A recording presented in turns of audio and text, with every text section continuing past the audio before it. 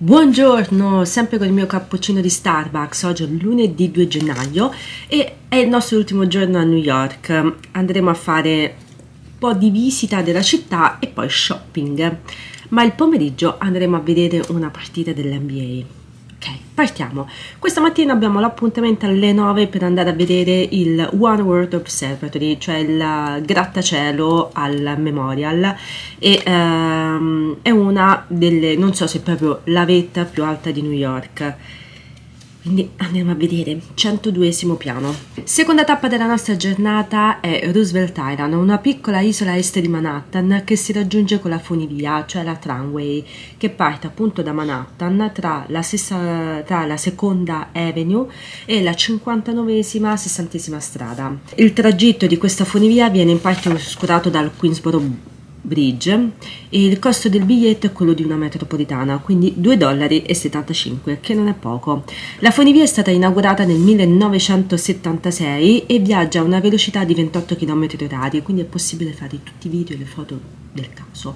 Il Queensboro Bridge è famoso perché vi hanno eh, girato la scena di, dell'uomo ragno, quando lui deve decidere se salvare la ragazza o la le persone che sono sulla funivia. Quest'isola un tempo si chiamava Black Wheels Island o Welfare Island, quando ospitava pigroni, ospedali e manicomi. Come sempre abbiamo visto in questi giorni, Manhattan è riuscita a far rinascere dalle ceneri un luogo di totale degrado. Ah, eh, il nome Roosevelt Island è stato dato in onore del famoso presidente americano a cui è intitolato il parco Franklin Roosevelt for Freedom Park, sulla punta sud dell'isola, inaugurato nel 2012.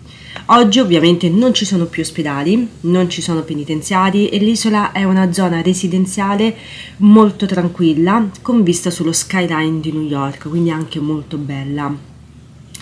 L'Octagon è la residenza molto costosa, eco chic, ricavata nell'edificio che nel 1830 ospitava il manicomio. Andremo a vedere anche l'aspetto spettrale delle rovine del Smallpox Hospital. Subito sotto si trova il eh, parco dedicato a Franklin Roosevelt. In memoria del discorso del presidente Roosevelt tenuto al Congresso degli Stati Uniti nel 1941 sulle quattro libertà di parola, religiosa, libertà dal bisogno e libertà dalla paura. Da qui si vede molto bene il Palazzo delle Nazioni Unite, quello di vetro. Il Lighthouse Park è un antico faro in pietra del 1800, l'isola è abitata da circa 16.000 persone. Ha un basamento in granito bianco circondato da fili ordinati di tigli. Costruito dal 2010, inaugurato nel 2012 l'ultimo lavoro del famoso architetto Khan, progettato nel 1973 e realizzato dopo la sua morte per infarto nel bagno della Pennsylvania Station. Smallpox Hospital, come abbiamo visto, un, era un ospedale per il Baiolo da 100 letti, inaugurato nel 1856 a sud di Roosevelt Island, in una posizione isolata per mettere in quarantena appunto i pazienti che erano affetti da Baiolo. Fino al 1875 accolse gli ammalati e fu anche un centro di formazione per infermieri. Chiuse negli anni 50 e i suoi edifici caddero in rovina. Chapel of the Good Shepherd è la chiesa episcopale del 1888 al centro dell'isola Costruita in pietre e mattoni, ha un aspetto austero e armonioso in stile gotico-vittoriano. È stata restaurata nel 2003. The Octagon, costruito nel, 1800, eh, nel 1834, è uno storico edificio ottagonale connesso al complesso di condominio situato all'888 Main Street sull'isola. Su cinque piani fu un ospedale. Tutti questi edifici qua, compreso il faro e il Park, che è un faro in pietra costruito nel 1872 dai detenuti del penitenziario dell'isola per creare una zona di luce utile alle navi che attraversavano l'Est River, insidioso per la presenza di voluminosi massi in granito, funzionò fino agli anni 40 e tutti questi sono luoghi storici dal 1972. Nel corso del XIX secolo è stata sede di ospedali, manicomi e istituti correttivi. Tra il 1980 e il 2000 l'isola ha conosciuto uno sviluppo dal punto di vista residenziale. Nel corso dei suoi anni ha subito l'evoluzione di vari nomi, da Minahonok, nome dato dai primi indigeni, fino a mm, Manning's Island, in onore del capitano Manning, a Blackwell's Island e all'attuale Roosevelt Island. È soprannominata The Little Apple, cioè la piccola mela, dal 1981 ha un suo giornale indipendente che esce ogni due settimane, The Main Street Wire. Sull'isola vivono Kofi Annan, Sarah Jessica Parker e Michelle Bachelet. È larga nel punto massimo 250 metri, quindi veramente piccola. Sul lato orientale si ammira il Queens con edifici bassi alternati a grattacieli, stabilimenti industriali e il Queensbridge Park. South Point Park è un uh, Central Park in miniatura in uno dei punti più stretti dell'isola. La funivia è diventata operativa nel 1976 e fino al 2006 è stata l'unica funivia aerea degli Stati Uniti, anno in cui fu inaugurata quella di Portland. Le cabine sono state sostituite nel 2010, quindi un po' di tempo fa, e può trasportare fino a 125 persone. Le corse sono ogni 7-15 minuti, quindi abbastanza frequenti. E anche oggi andiamo a visitare Manhattan. Buona giornata!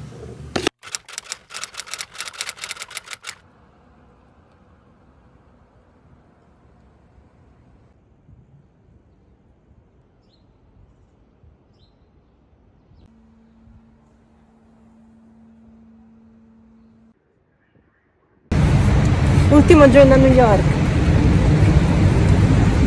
Ultimo giorno di freddo. siamo al Memorial e stiamo andando a vedere il One World Observatory rossa noi attraversiamo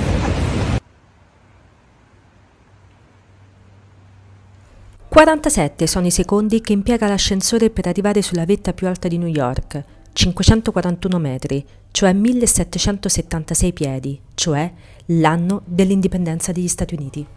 Una vista a 360 gradi su tutta New York. La Statua della Libertà, inaugurata nel 1886, che raffigura la dea ragione che indossa una lunga toga e sorregge fieramente nella mano destra una fiaccola, segno del fuoco eterno della libertà, mentre nell'altra tiene una tavola recante la data della dichiarazione di indipendenza degli Stati Uniti d'America, cioè il 4 luglio 1776. Con il bel tempo non vedete solo Manhattan, ma proprio tutta New York. Sono pronta per vivere a New York, non ho più paura dell'altezza.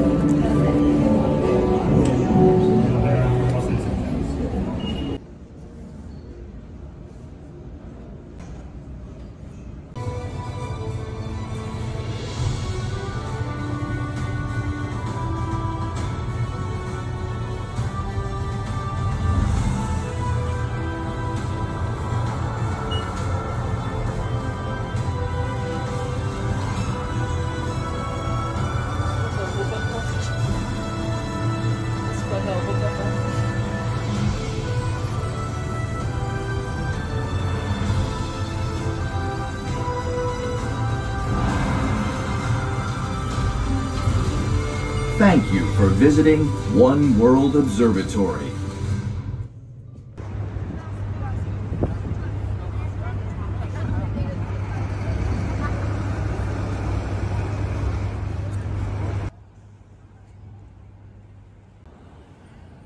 Non eravamo mai stati a Roosevelt Island e devo dire che è bellissima.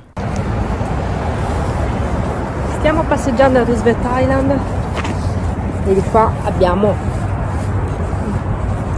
lo skyline di Manhattan. Abbiamo trovato queste panchine tipo proprio chaslong, quindi siamo totalmente sdraiati e questa è la nostra visuale ragazzi. Wow. Le panchine sono così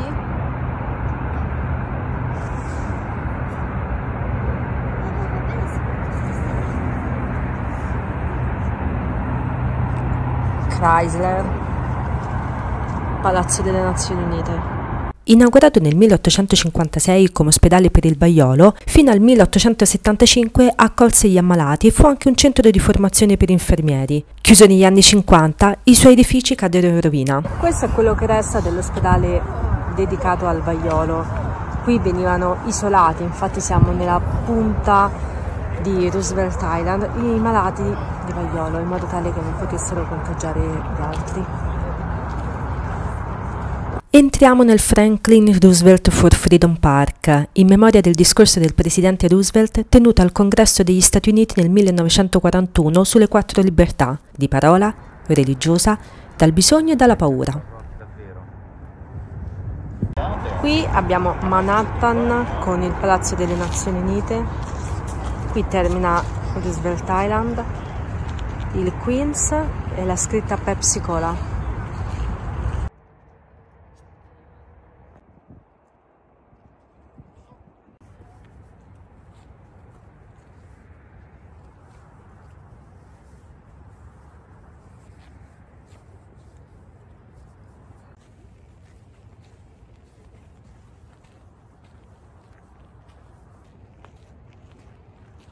Diventata operativa nel 1976, la Roosevelt Island Tramway è stata l'unica funivia aerea degli Stati Uniti fino al 2006, anno in cui fu inaugurata quella di Portland. Sembra quasi di toccare il Queensboro Bridge. E ora direzione Madison Square Garden per l'NBA. Una peripezia per entrare al Madison Square Garden. Che cosa ne abbiamo fatte? In pratica non mi hanno fatto entrare la DJ Pocket, ma il cellulare sì. Cosa che trovo veramente assurda è che non si possono portare all'interno delle videocamere, neanche quelle piccoline come una DJ Pocket, ma il cellulare che è molto più potente sì.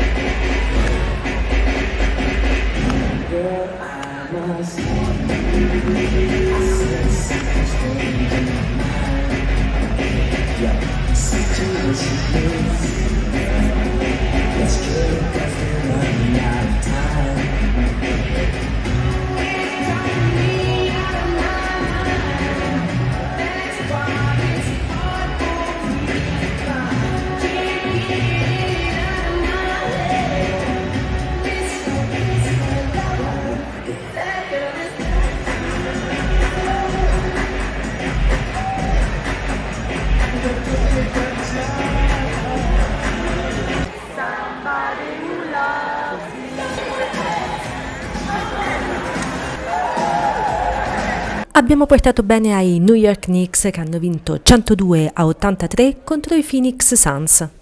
Siamo venuti a recuperare la mia DJ Pocket che ho dovuto lasciare nell'hotel di fronte allo stadio pagando 10 dollari. Dietro grande insistenza della baby, eccoci qui nel negozio di Harry Potter. Veramente molto carino, ci sono tantissime cose. L'ultima sera sono venuta a conoscenza di questa stanza food dell'hotel. E mi ha fatto sempre mangiare in camera, invece qui avevamo il salottino carinissimo, tavolino, trono, tronisti, Maria De Filippi. Check the mic and make sure it sound right, boys.